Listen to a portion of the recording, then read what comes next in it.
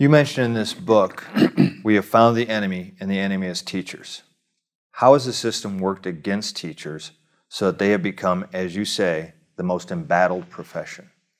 Well, we've always had um, a tendency in this nation from the very time education was created to be critical of the public education system.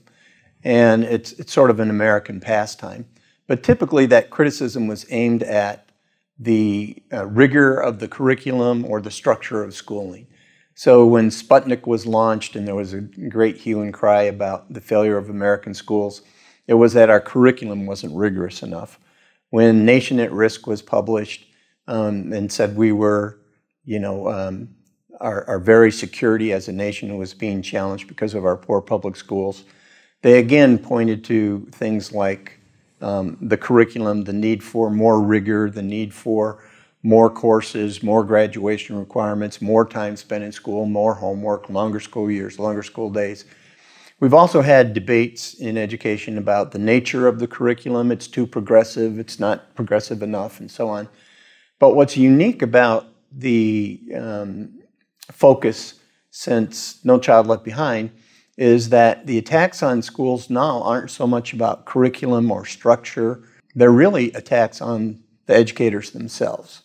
They're attacks saying that um, they're complacent, they put the needs of the adults above the needs of students. And we see this over and over and over again. And in the book, I highlight 20 different um, headlines from newspapers and magazines attacking the educators as uh, the real problem. And so our attempts to reform our schools have more and more been leaning toward attempts to be punitive toward the educators themselves. We're making it easier to fire educators. We're making it easier to replace them with people who have no background in education.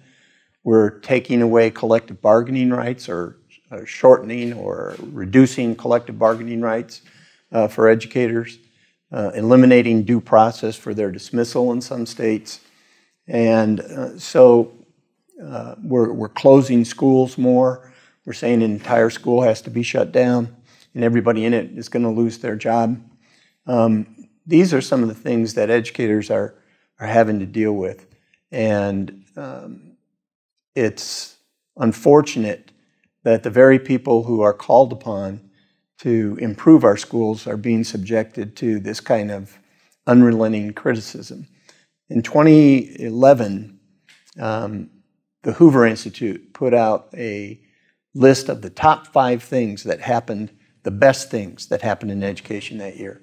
And virtually all of them were focused on limiting, limiting teacher rights, um, making it tougher uh, in terms of teacher evaluation, easier to fire teachers, eliminating collective bargaining.